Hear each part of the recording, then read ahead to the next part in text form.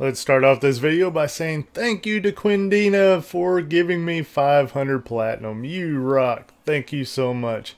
And to Mountain for giving me a black garden key. You guys are amazing. Oh boy.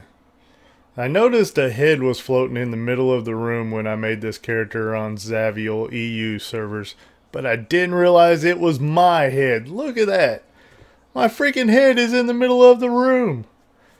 This is not a good start to this new start.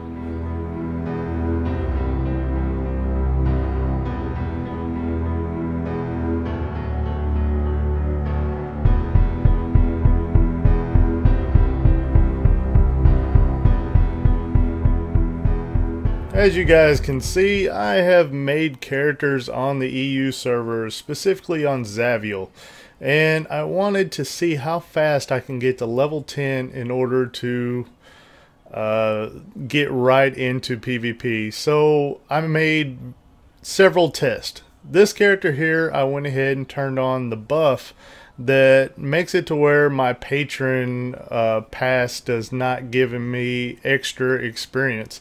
That way I can actually time how fast I can get through these encounters here and get into level 10 as fast as possible to start PvPing because I know that's what I want to do and a lot of you guys want to do that too whenever you make a new character.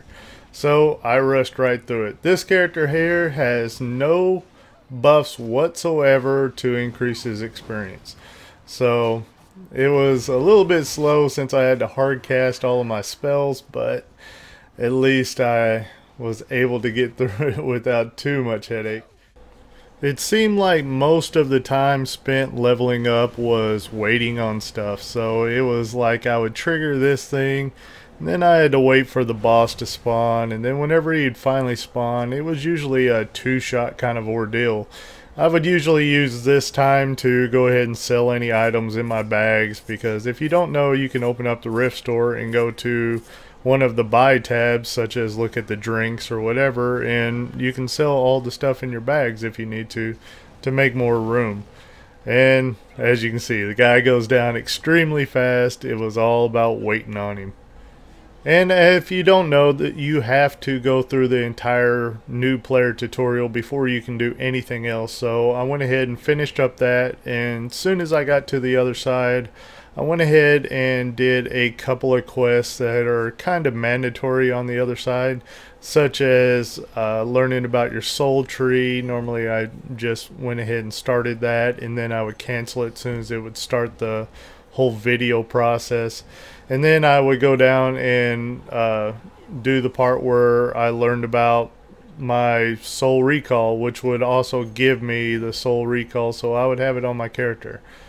The next thing you do is what really makes this whole process pop. And it is if you have the Tempest Bay insignia from the loyalty tree, you go ahead and use that. Or if you have somebody in your guild that can put down a rally banner in Tempest Bay and summon you there, then this is where you want to be because this quest here is meant for level 60s or at least over level 48 so to say.